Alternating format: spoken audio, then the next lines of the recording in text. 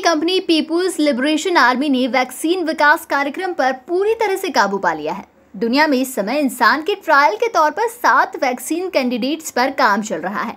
इनमें से तीन अकेले चीन के पास है। बुधवार को पाकिस्तान की ओर से खबर आ रही थी कि सिनोफॉर्म नाम की एक चीनी फार्मा कंपनी ने कोरोना वायरस की वैक्सीन के ट्रायल में शामिल होने के लिए पाकिस्तान के स्वास्थ्य विभाग से संपर्क किया है।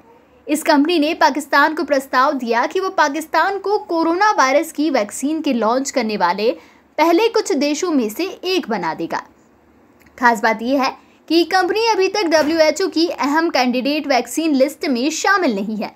ऐसे में पाकिस्तान को भेजा गया प्रस्ताव सुरक्षा को लेकर शक बढ़ा रहा है। वॉशिंगटन स्थित वुड्रो विल्सन की ग्लोबल फेलो फरहाना इस्पाहानी ने इस कदम के पीछे चीन पर सवाल उठाया है। उन्होंने ट्विटर पर लिखा कि मानव गिनी पिग, क्या वो प्रधानमंत्री जिनमें देश की मस्जिदों को बंद करने के लिए अक्ल या इच्छा शक्ति नहीं दिखी, वो चीन को इसके लिए ना कह पाएँगे। Subscribe our channel and press the bell icon for more updates